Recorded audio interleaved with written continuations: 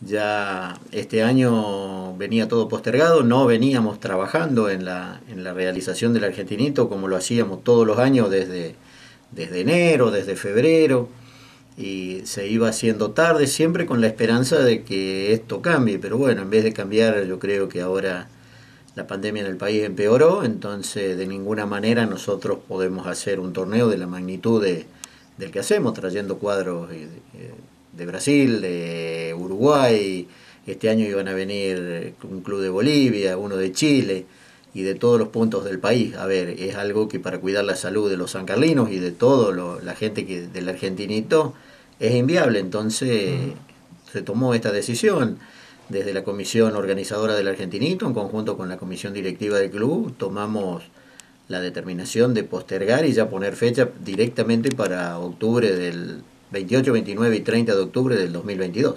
Bien, no solamente por, por la situación actual en San Carlos del, coronavirus y demás, sino porque también, eh, y lo que siempre decimos, los clubes eh, que vienen aquí a San Carlos se tienen que organizar, tienen que hacer todo un, preparativo y bueno, está bien que también se haya tomado la determinación con, con, tanta antelación. Claro, porque nosotros tenemos que darle reglas claras a los clubes que nos visitan de, de tantos kilómetros. A ver, tenemos que decirle, garantizarles que sí lo vamos a hacer en octubre o decirles ya que en octubre va a estar suspendido, porque es mucha incertidumbre para ellos también. Eh, sabemos que la situación económica de los clubes para poder venir hasta nuestro torneo es difícil y bueno, entonces eso requiere una serie de beneficios y de una reestructuración que ellos tienen que hacer para viajar que, le, que le va mucho tiempo de anticipación. Entonces ya directamente hablamos con todos ellos, está la mejor predisposición para, para venir en el 2022 y es lo, lo que nos llevó también a la, a la decisión de suspenderlo.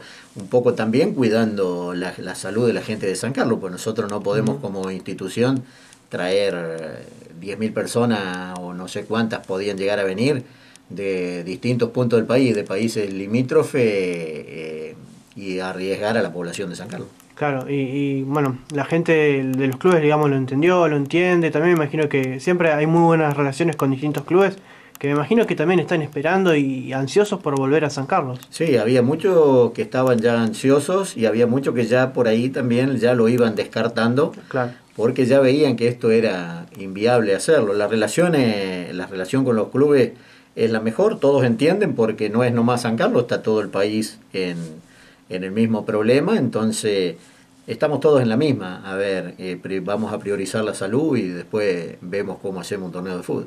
Seguro, seguro. Me, me imagino, eh, Carlito, más allá de, de, la razón con la cual se toma esta decisión, también un poco de pena, porque bueno, ya el segundo año consecutivo que no se puede hacer este argentinito, que es un evento quizás uno de los más importantes a nivel deportivo de nuestra ciudad. Sí, la pena es muy grande para, para todos los que estamos en la, en la organización de este argentinito. A ver, yo por ahí era uno de los más convencidos en suspenderlo.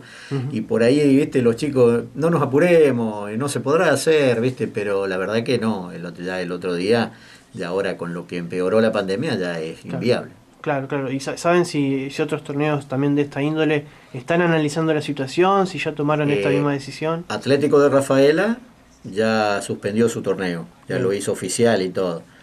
Y después, bueno, yo estuve en contacto con la gente del torneo Naranjitos en Paraná, que es uno de los torneos grandes, y también me dijeron que ellos van por el mismo camino.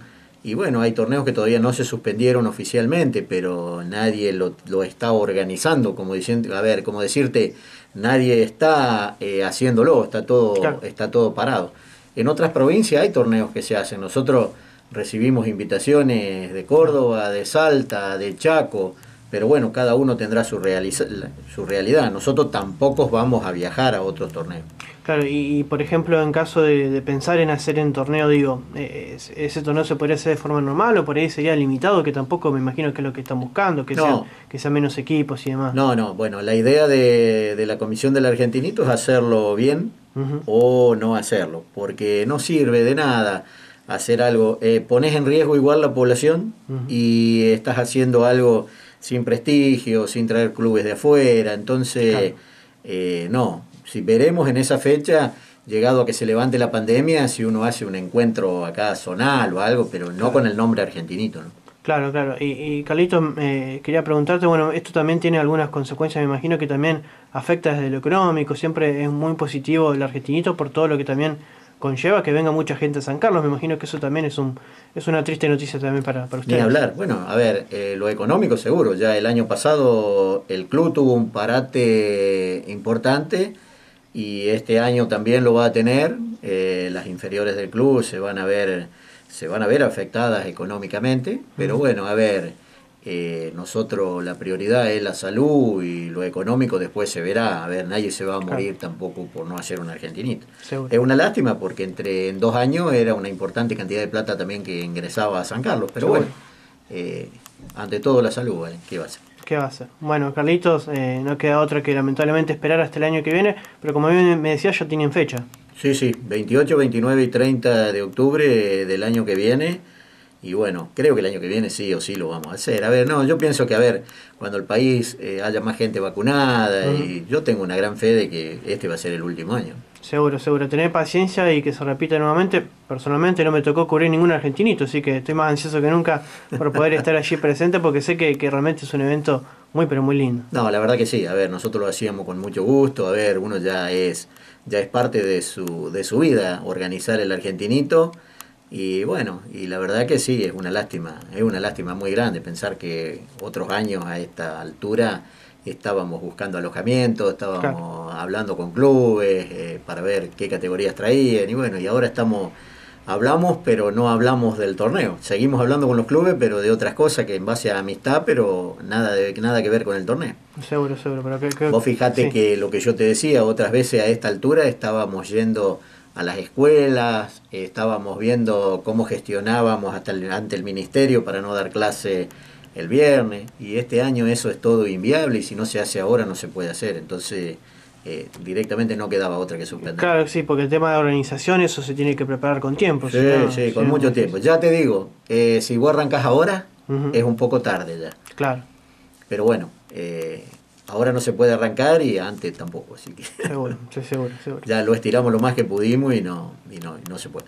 Seguro. Bueno, Carlitos, muchas gracias y bueno, esperemos que pronto puedan volver a, tener esta fiesta del fútbol que realmente le hace muy bien a San Carlos. La verdad que sí, bueno, nos vamos a ir hablando, pero no, ya para el año que viene eh, lo vamos a arrancar, si es posible, lo vamos a arrancar en diciembre, en enero, si todo está bien, eh, ya hay que arrancar organizando el, me has dicho que, existe una posibilidad de hacer algún torneo más, más pequeño por ahí. Claro, lo que pasa es que FICA siempre venía haciendo, por ejemplo, los encuentros de escuelita, que los hacía siempre en marzo, un encuentro multitudinario que teníamos acostumbrado a hacer. Claro.